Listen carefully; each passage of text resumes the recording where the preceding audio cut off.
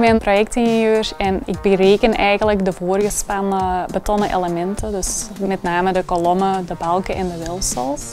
En nadat alles berekend is, werken wij eigenlijk samen met de tekenaar om alles uit te werken op een eh, gedetailleerd plan.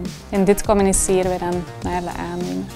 Ik werk nu uh, anderhalf jaar bij Ergon en ik ben eigenlijk meteen begonnen bij Ergon uh, nadat ik afgestudeerd ben. Ik ben eigenlijk gekomen in een gemixt team uh, waarbij veel mensen van dezelfde leeftijd, maar ook veel mensen met ervaring. Dus ja, de ideale mix eigenlijk om veel bij te leren tofste aan mijn job vind ik dat de job heel variërend is. Dus naast uh, alle berekeningen mogen wij ook uh, dus samenwerken met de tekenaar, maar ook uh, factureren, ook um, ja, naar de fabriek gaan. Dus een, een dag is nooit hetzelfde.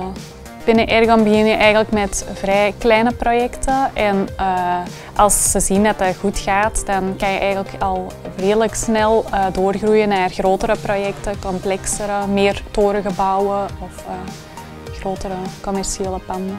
Als je ziet wat je toegevoegde waarde eigenlijk is bij zulke soort projecten, dan ja, is dat wel echt, dan weet je waarvoor je werkt. Dat is wel echt tof om te zien als er resultaat is.